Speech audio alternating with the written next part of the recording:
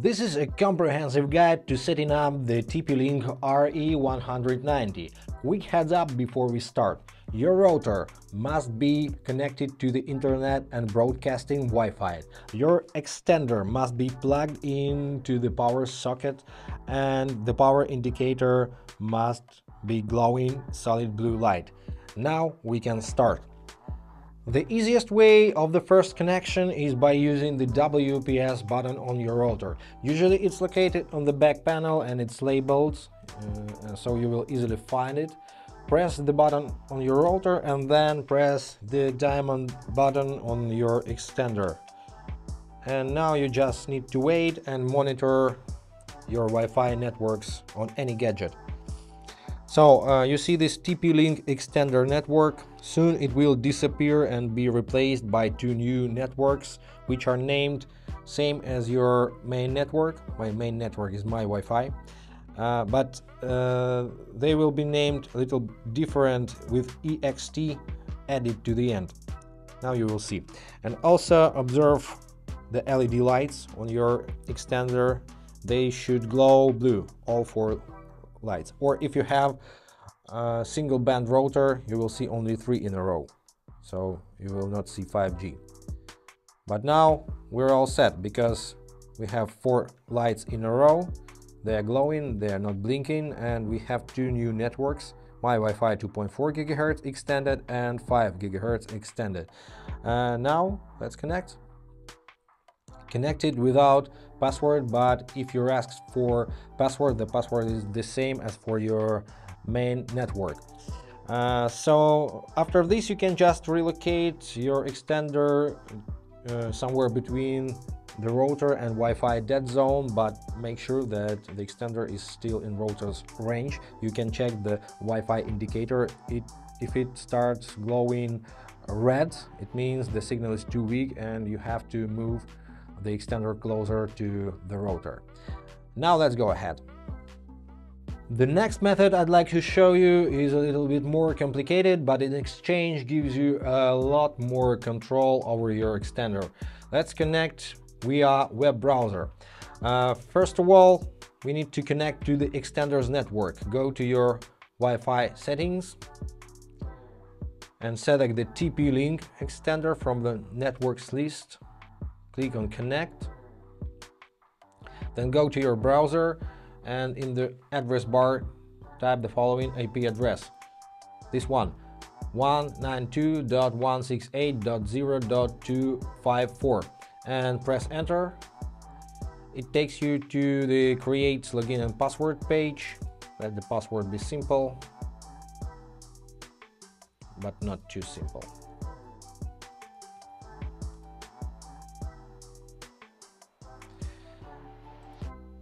Now you need to log in using your just created password.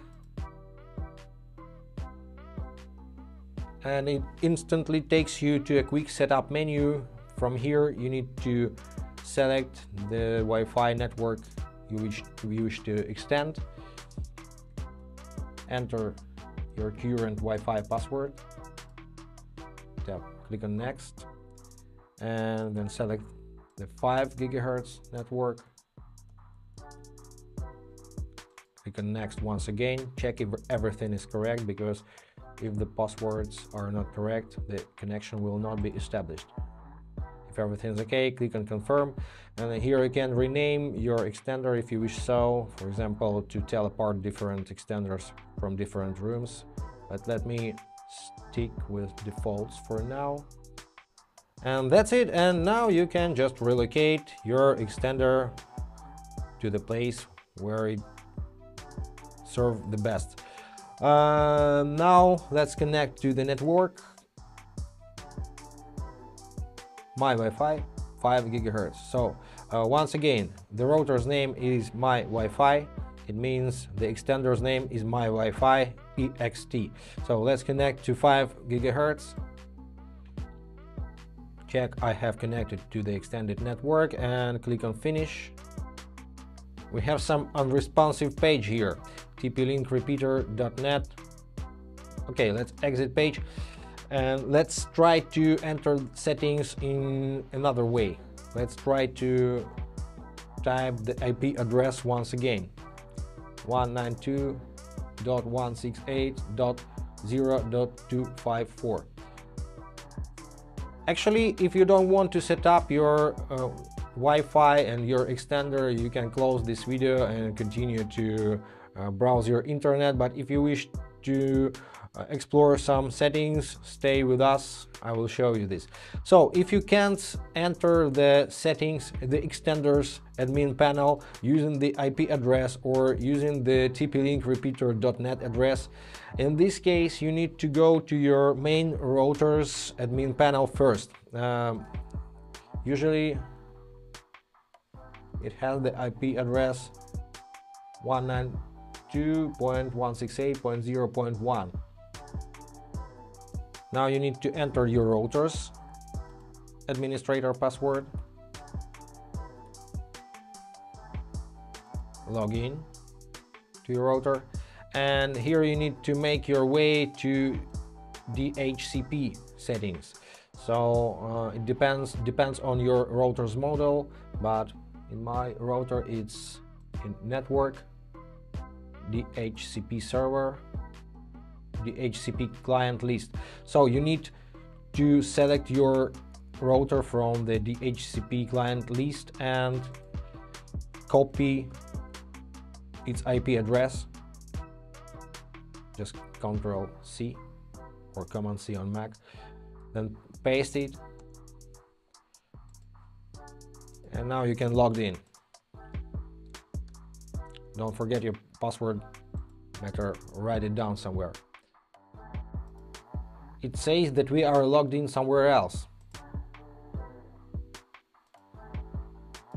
Okay let's close all other tabs.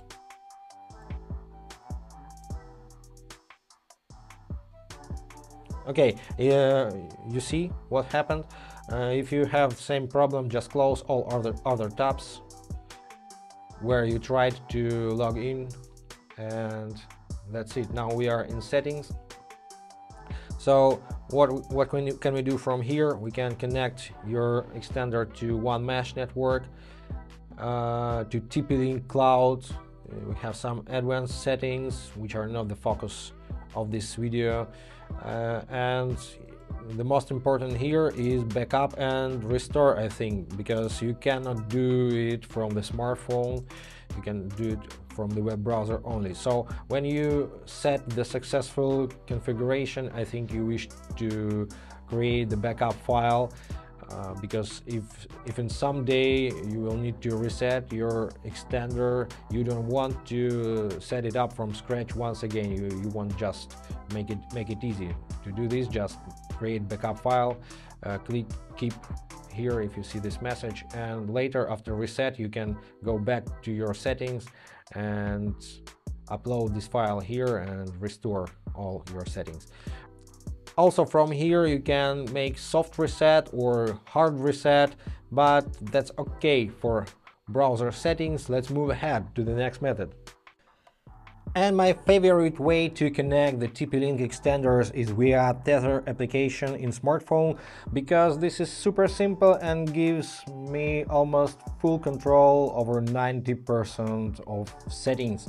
So uh, once again make sure that you have the power indicator glowing solid blue here and let's go to the Play Store or App Store to download the application. I, I have it installed already so let's go to the application.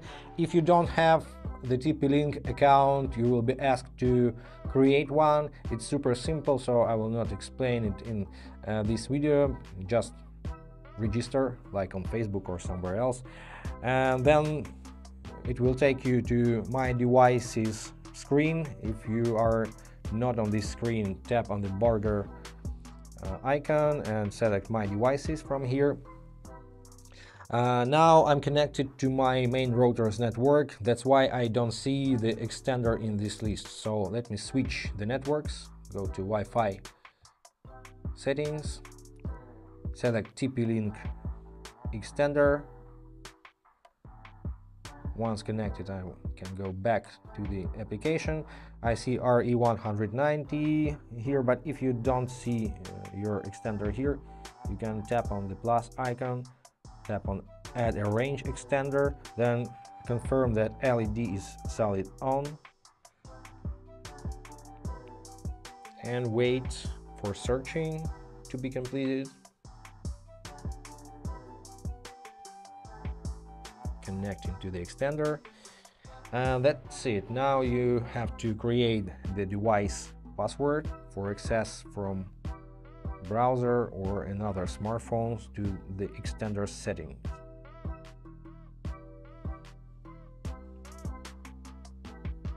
Let it be simple for now.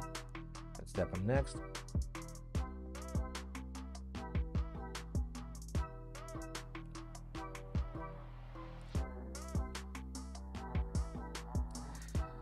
And now scroll down until you see your main network name and tap on its name and enter your current Wi-Fi password.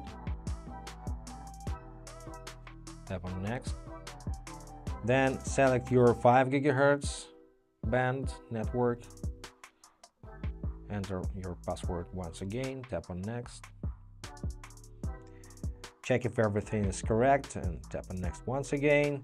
Here you can rename your uh, extenders as in browser. Tap on next and wait for settings to be applied. Now look at your extenders LED lights. When everything is completed, you will see four in a row or three in a row if you have single band rotor.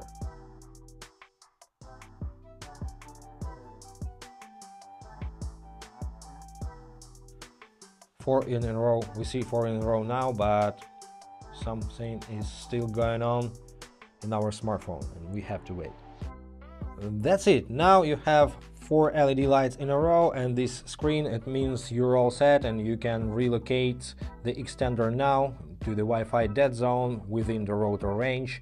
And look at the wi-fi led signal if it's red, it means you need to move the extender closer to the router. If it's blue, it's okay and your extender works and extends your Wi-Fi. Uh, when you're okay with the location of the extender, tap on next. Now you can connect to your Wi-Fi. This is our extended 2.4 gigahertz network if you don't see 5 gigahertz network, just wait for a while or try to restart the Wi-Fi on your smartphone.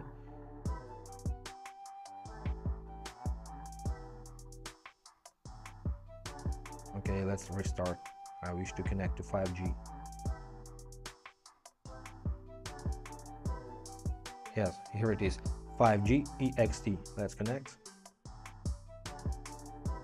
Okay, connected without password but the password is the same as for your uh, main router just in case you need it. Let's go back to the application logging in and that's it. Everything is working well. And now you can manage the most part of settings from the more tab.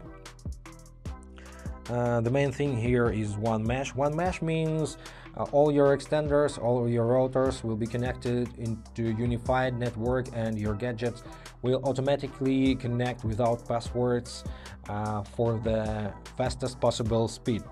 Uh, and some advanced settings, some system settings, but this is not the topic of this video. For now, you're all set and I hope this was helpful.